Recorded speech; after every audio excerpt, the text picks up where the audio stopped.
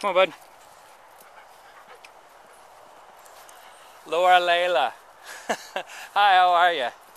Um, this video, I'm, it's kind of, I'm kind of responding to you, uh, the video that you did, where really I'm responding to one part that you mentioned when you talked about how people work in an environment, they're uh, working in mental health, and uh, they just kind of shell up. Um, they become they become something other than who they are, and then they escape from that person uh, after they get away from their work. Um, except for the people that have to deal with them on a regular basis can't escape from them. Um, and I've encountered that myself. I've heard people talk about that, like people that have really unpleasant jobs. Um, one of my friends uh, worked in a hospital, and he said that uh, eventually you stop treating the human body like a human body and treat it like a uh, just a tool, something that you're working with. And and then I also talked about some people that had some pretty horrific jobs, some jobs that would really tug at your sympathy. And they said, I've never heard so much um, kind of off-colored humor, um, you know, disrespectful stuff uh, was very common. To kind of like dehumanize what was happening, you know, distance yourself from it. To like say that, you know, it's kind of like seeing a car accident and then making a joke about uh, how people need to, you know, put their cell phone down and drive or something. Because what you really don't want to think about is the nightmarish uh, experience of being in a car accident or if anyone just lost their life and do they have family or somebody waiting for them right now in a restaurant and you know they don't want to they don't want to look at it in a way that just fills up their heart full of whatever or their mind full of whatever. So they uh, they detach themselves. So the uh, the I was going to say the work I do but the work I do essentially is I work with the public. And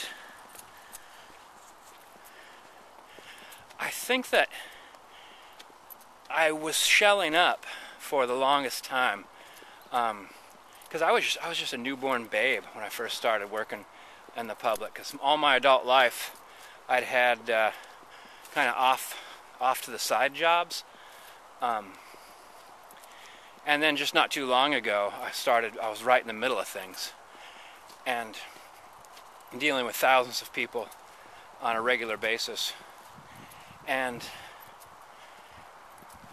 I see everything that a human being could get up to, um, from violence to uh, to to love, and uh, it's almost like it's almost too much. It's like I want to cover up my ears, or cover up my heart or my mind, and just go uh, la la la la la la. um, and not hear it, not feel it, not think about it. Um, I start feeling like a disrespectful barrier uh, go up between me and them, you know, essentially us. Um, kind of like what Fred was talking about, like he would give a speech and people drop a pencil.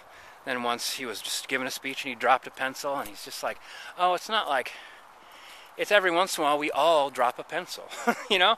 And like every once in a while, uh, we all, you know, lose our temper or um, we all do this, that, or the other thing.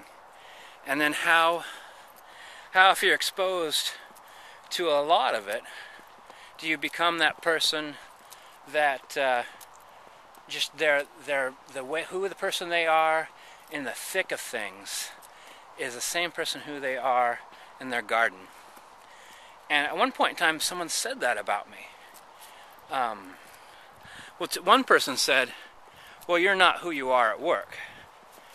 And then a person I work with says, well, yeah, Earl's, the Earl you are hanging out with now is the Earl at work. That's, his personality doesn't change, except my personality started to change.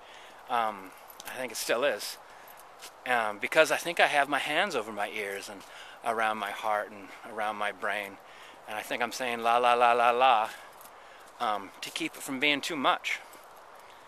And so I need to get back to being more me wherever I'm at. Oh. and it's hard. Like, I can't imagine how those people working in that uh, uh, mental health institution, how, how you could, if you got to that where you're almost dehumanized or dehumanizing, um, how would you go back?